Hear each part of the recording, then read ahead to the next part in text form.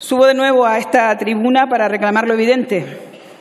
El 20 de agosto del 2008, una cadena de errores causa una de las peores tragedias de la aviación civil española.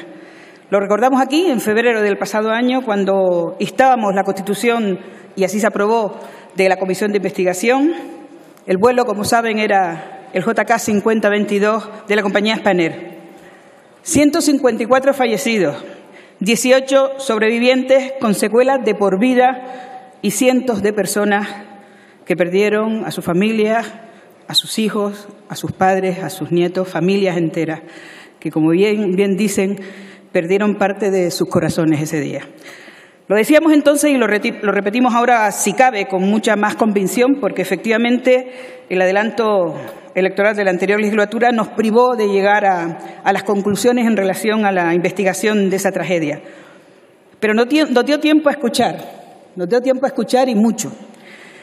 Escuchamos silencios muy elocuentes, desmemoria selectiva, pero sobre todo escuchamos la sobrecogedora eh, narración de los supervivientes, de los bomberos, del personal médico que vivieron in situ la tragedia, de los familiares que esa noche fueron maltratados, de los pilotos, de los técnicos. Todos ellos vinieron a corroborar el, el porqué de esta investigación. Porque en ese día, en, en, ese fatídico día, fue la culminación de una cadena de fallos estrepitosos de los mecanismos de control cuya responsabilidad, en la escúspide de la pirámide de la responsabilidad, está la administración pública, es decir, el Estado, porque la seguridad operacional es una obligación en la, en, la que el Estado español tiene todas las competencias, todas las competencias. Por nuestros aeropuertos se mueven millones y millones de personas. En el año 2018, 264 millones de pasajeros. El avión accidentado tenía un certificado de aeronavegabilidad que caducaba el 22 de julio del año 2008.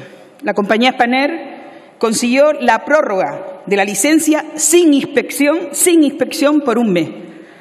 Fíjense si yo o cualquiera de ustedes no pasara nuestro ITV el coche y estuviésemos andando con ellos por la calle, la policía cual nos multaría. Pues bien, la compañía Spanair consiguió la prórroga de la licencia sin inspección por un mes más. Vencía esa prórroga el 22 de agosto del 2008. Dos días antes, el avión se estrella.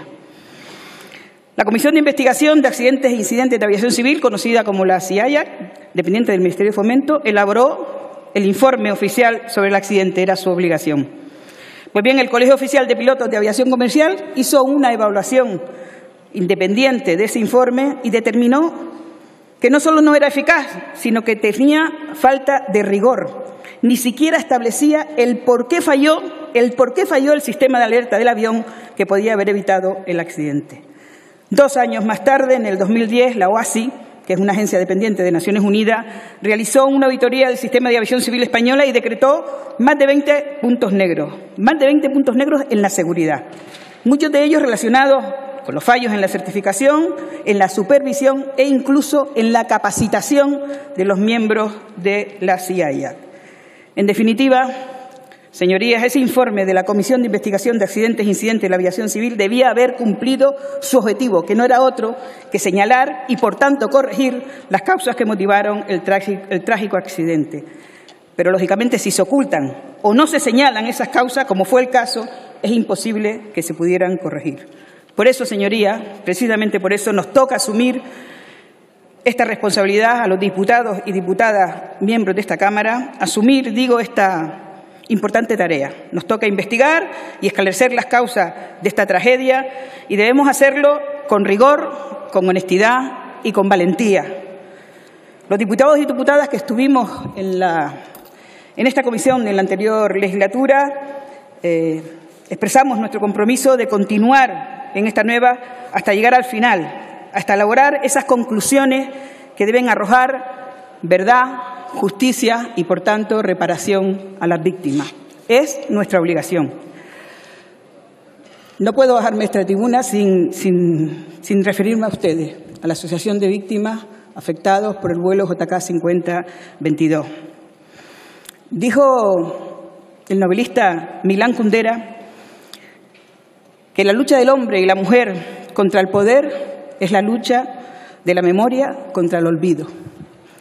Gracias por esa lucha, gracias por no olvidar, gracias por recordarnos nuestra responsabilidad, porque efectivamente somos la memoria que tenemos y la responsabilidad que asumimos. Sin ustedes esto no sería posible.